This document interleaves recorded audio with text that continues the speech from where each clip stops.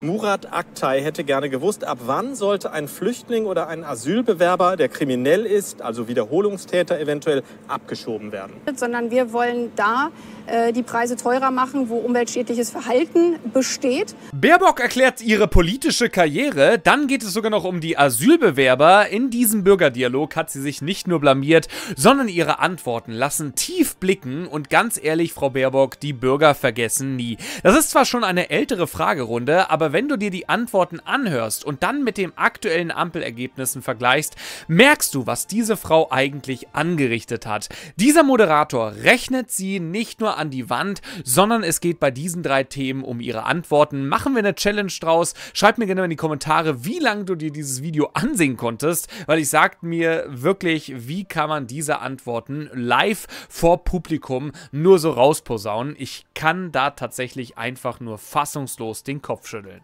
steht, ist, dass sie gewisse Produktionen ähm, dann eben nicht nach zum Beispiel Emissionszertifikaten bei uns beim Emissionshandel betreiben. Und äh, wir schlagen ja vor, dass wir zum Beispiel äh, mit Blick auf die Produktion von Stahl in Zukunft klimaneutralen Stahl in Europa produzieren. Und wenn das dann andere Länder nicht machen und ihren billig produzierten Stahl ohne diese Ökostandards äh, produzieren, dass man dann auch nachdenken müsste, ob man sowas wie Border Adjustment Taxes heißt es, das sind Klimazölle an den Grenzen mit einführt, damit es da keine globale Wettbewerbsverzerrung gibt. Ob es nun gegenüber China ist oder den USA oder anderen Ländern, die eben diese Ökostandards nicht einhalten. Aber dazu müssen wir erstmal solche haben. Frau Baerbock, wir kommen jetzt zu äh, unserer Rubrik Sprint. Das heißt eine Minute mit äh, vielen Fragen, die Sie mit Ja, Nein oder mit einem Wort beantworten können oder möglichst sollten. Dann schaffen wir auch am meisten und äh, wir legen los. Biofleisch vom anderen Ende Deutschlands oder regionales Massentierprodukt? Weder noch. Legalisierung von Cannabis, ja oder nein? Ja. Wohin ging Ihre weiteste Fernreise bislang? Jetzt muss man überlegen, welche Strecken weiter sind. Zählen Sie ruhig alle auf. nee, ich war äh, in China bei einer Klimakonferenz. Ich glaube, das war weiter als ich war auch mal ein Jahr in den USA. Ja. Jamaika oder Rot-Rot-Grün? Das hängt von den Inhalten ab, wo mehr Grün am Ende bei rauskommt. Pizza oder Nudeln? Nudeln. Obergrenze für Flüchtlinge? Nein. Wählen ab 16? Ja, in vielen Bundesländern gibt es das ja. Schwarze Null weiterführen oder Schulden für nachhaltige Investitionen aufnehmen? Schuldenbremse mit Investition. Fahrrad oder ÖPNV? Kommt drauf an, wie weit weg. Brexit-Abkommen neu verhandeln oder No Deal? Die, der EU-Kurs ist der richtige.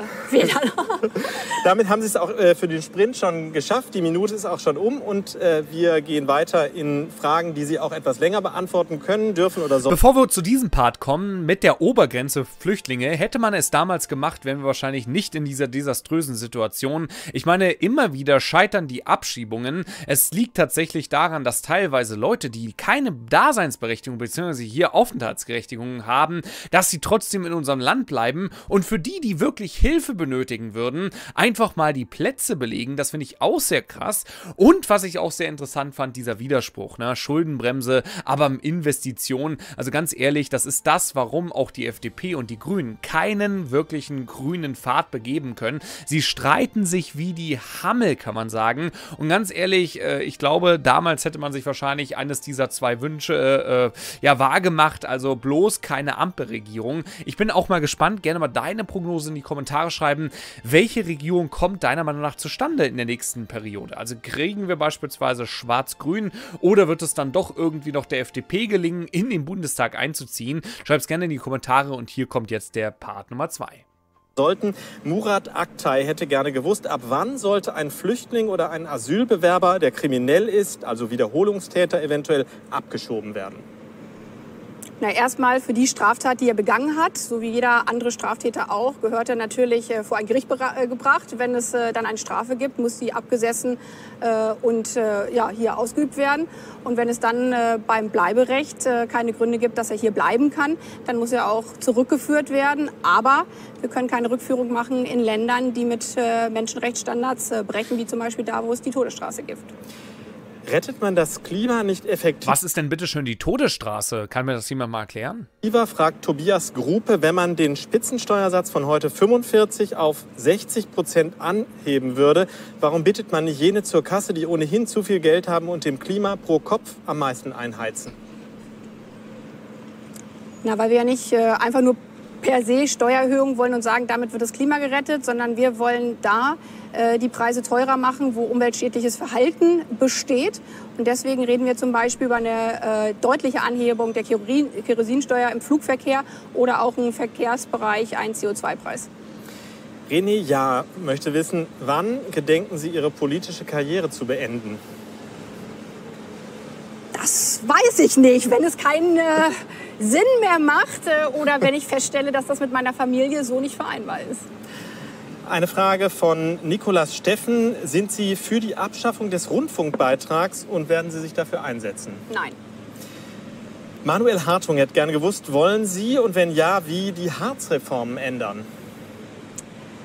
Ja, die bestehen ja aus ganz äh, verschiedenen äh, Bereichen. Äh, zum Beispiel, dass im Bereich der Schwarzarbeit äh, deutlich was getan wurde. Das halte ich für absolut richtig. Auch das fiel ja unter Hartz. Aber wenn jetzt Hartz-IV-Bereich äh, gemeint ist, dann haben wir etliche Vorschläge gerade im sozialpolitischen Bereich schon gemacht, dass wir gesagt haben, wenn man dazu verdient, dann darf es nicht die harten Abbruchsgrenzen geben, weil es ja Sinn macht, wenn Menschen Beschäftigung wieder aufnehmen und dass wir auch mit Blick auf die Sanktionen deutliche Änderungen wollen eine Frage. Das ist ja auch sehr interessant. Ne? Bei Bürgergeldempfängern von äh, den Asylbewerbern, da sieht man das natürlich als grünen Politiker etwas anders. Da ist man nicht daran interessiert, dass diese möglichst schnell in Arbeit kommen und einen Beitrag leisten können, sondern da ist es ja sogar bürokratisch immer noch nicht gelungen, so viel abzubauen, dass man eben sofort, wenn man ins Land kommt, direkt anfangen kann. Und das ist das große Problem es wird immer wieder in die eigene Tasche gelogen. Es wird immer wieder das Blaue vom Himmel versprochen, was man alles tun will. Alleine auch, wie sie beschrieben hat, dass man ja jetzt abschieben sollte,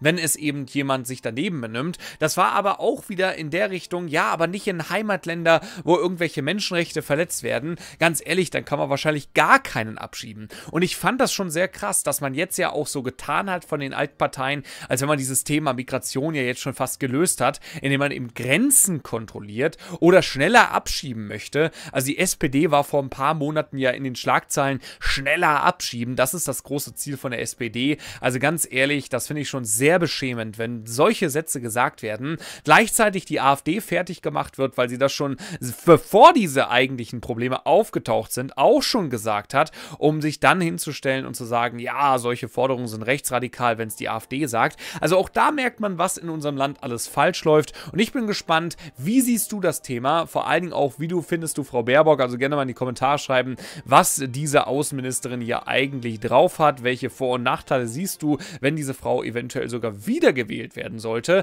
Also da bin ich mal gespannt, äh, deine Meinung zu erfahren. Und in diesem Sinne, bis zum nächsten Mal.